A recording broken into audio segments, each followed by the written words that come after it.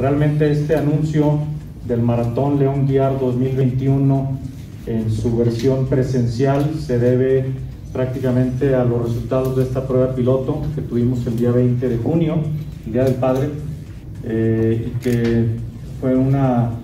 conjunción de esfuerzos de los comités organizadores de las carreras atléticas, evidentemente de la asociación, evidentemente de la Dirección de Riesgos Sanitarios que nos dieron la oportunidad de hacer esta prueba piloto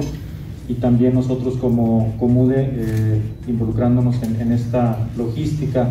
Un gran resultado, sobre todo yo quiero destacar la participación y la conciencia de los corredores,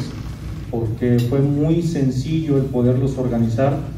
de acuerdo a esta conciencia que ya tienen cada uno de ellos de la utilización del cubrebocas, de la sana distancia y evidentemente de todas las indicaciones nuevas con las cuales estábamos ya involucrados en,